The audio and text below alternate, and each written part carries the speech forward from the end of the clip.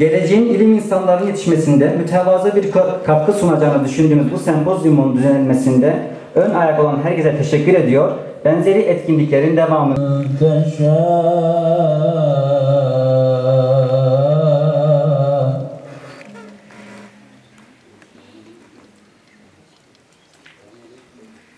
تؤتي الملك من تشاء Dicle Üniversitesi Rektörlüğümüzün himayelerinde Dicle Üniversitesi İlahiyat Fakültesi, Diyarbakır Dini Yüksek İhtisas Merkezi Müdürlüğü, Diyarbakır İl Müftülüğü, Diyarbakır İl Milli Eğitim Müdürlüğü ve Yenişehir İlçe Müftülüğümüzün işbirliğinde düzenlediğimiz Din ve Medeniyet Ulusal Öğrenci Sempozyumuna hoş geldiniz diyor. Hepinizi saygı ve hürmetle selamlıyorum.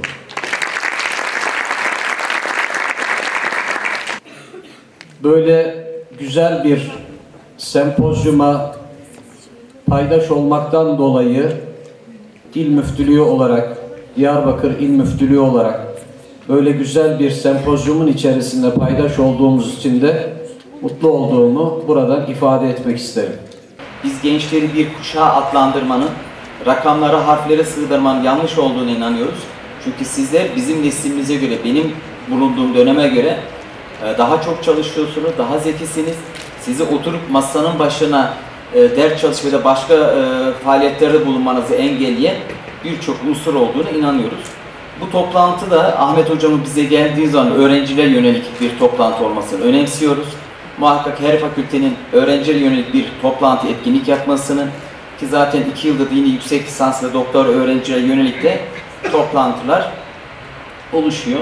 Hatta üniversite olarak da lisans öğrencilerine bilimsel araştırma projelerinden destek veren tek kurum olduğumuzu da rahatlıkla söyleyebilirim. Der Allah Allah. Çeşmin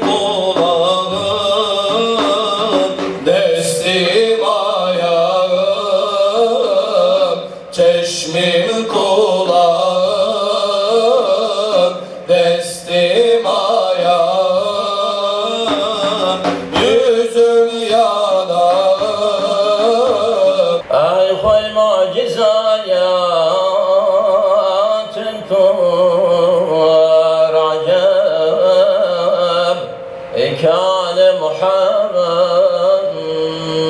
Mustafa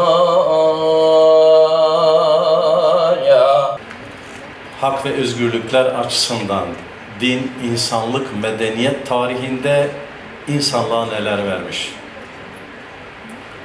Güzel birkaç örnekle ele almaya çalışacağız inşallah. polisiye filmlerinde bazı mafyatik tipler var. Yani adam dışarıda her türlü suça bulaşmış, cinayet işliyor, vahşi bir adam. Ama eve geldiği zaman hanımına, kızına karşı son derece böyle kibar, nazik, şefkatli bir baba rolünde. Dışarıda canavar, içeride kibar beyefendi. Yani inanın şu an Batı'nın yani e, arz ettiği portre böyle bir şey. Tabii ben kendi açımdan söyleyeyim. Öğrenci kardeşlerimiz 5-10 yıl geçtikten sonra bu manzarayı çok güzel hatıralarla yad edecekler. Biraz yorulmuş olsalar da